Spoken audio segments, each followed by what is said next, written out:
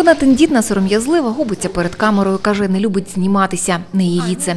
Втім, коли справа доходить до роботи, враз наче перевтілюється. Старша медична сестра клініки абдомінальної хірургії Наталя Сковоронська тричі була у зоні АТО. Вперше 2014-го. Найважче пригадую було в Добропіллі та Слов'янську. Як воно відсіжувати воду з калюж, знає з власного досвіду. Та звідти їй запам'яталося зовсім інше.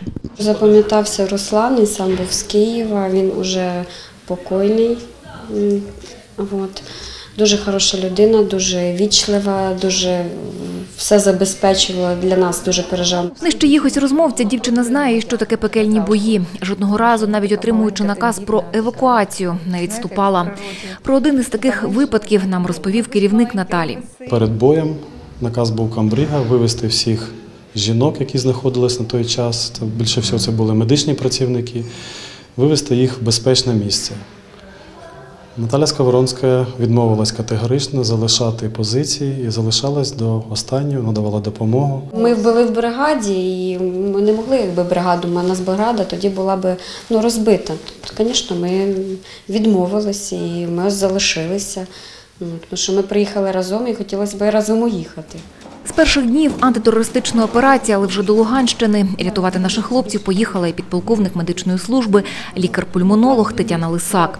Працювати, пригадує, доводилось не лише за фахом. Там такого поняття, що ти чи пульмонолог, чи ти терапевт, там немає. Там, якщо потрібна твоя допомога, ти стаєш до роботи і робиш те, що ти е, в чому ти можеш допомогти. Перші роки АТО видались найважчими. Розвалена армія, мінімальний досвід і ще гірше забезпечення, каже підполковник медичної служби. Пригадую, шпиталі розміщували в лісах без належних умов. Втім, найважче було зовсім інше. Окремі спогади, як би не хотіла, ніколи не зітруться з пам'яті. Запам'ятався хлопчик, якому було 20 років, його привезли з е, ампутованою кінцівкою верхньою і двома нижніми кінцівками. Дуже важко на це було дивитися. Дуже було е, немало молодих людей з психологічними травмами. Чи місце жінки в армії питання без відповіді. Нині на захист батьківщини стали тисячі представниць прекрасної статі. Вже і чоловіки погоджуються без них і там, і тут ніяк. Вони вміють мінятись у залежності від ситуації. Те, що відбувається зараз в країні, і повірте мені, жінки несуть весь цей тягар да, цієї війни, і свої функціональні обов'язки як медичні працівники до останнього. Ми не тільки жінки, ми ще й військовослужбовці. У нас є долг. От. Перед, перед саме нашою вітчизною у нас є долг, який ми повинні виконувати. Пройшовши крізь пекло війни, вони вірять, що мир в нашій країні можливий. Для цього кажуть, потрібно зовсім небагато. Дуже цього хочеться.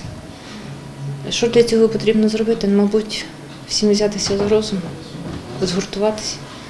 Мабуть, все буде добре. Ольга Орел, Володимир Черніков. Новини.